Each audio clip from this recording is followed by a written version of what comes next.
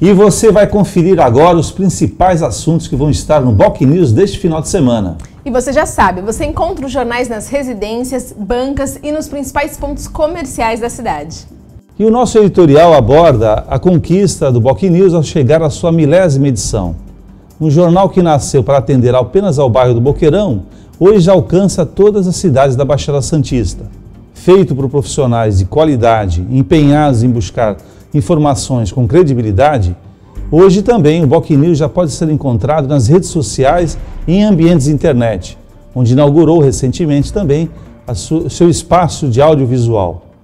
E nesta edição você vai poder conferir é, um caderno especial que conta toda essa história e projeta o jornal para os próximos anos.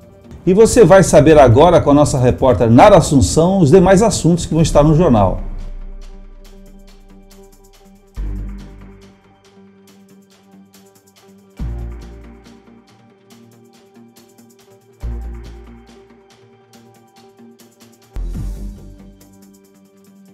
Pois é, Chalub. E nessa edição comemorativa número 1000, uma matéria especial. O Museu Pelé, que será inaugurado neste domingo e trará a Santos a presidenta Dilma Rousseff, além de representantes de outros países que já estão aqui por conta da Copa do Mundo. A gente conversou com o secretário de Turismo, Luiz Dias Guimarães, que falou um pouco da importância deste equipamento para a cidade. Eu acho que o Museu Pelé não só será o principal equipamento turístico da cidade de Santos, mas será um dos principais do Brasil. Né? E a importância, o poder desse equipamento, ele foi bem compreendido por várias esferas de poder, né? o governo federal, o governo do estado, todos entenderam essa importância é, para o país, para o estado e particularmente para a cidade. Eu acho que é, nós começamos com esse museu uma nova fase da nossa vida.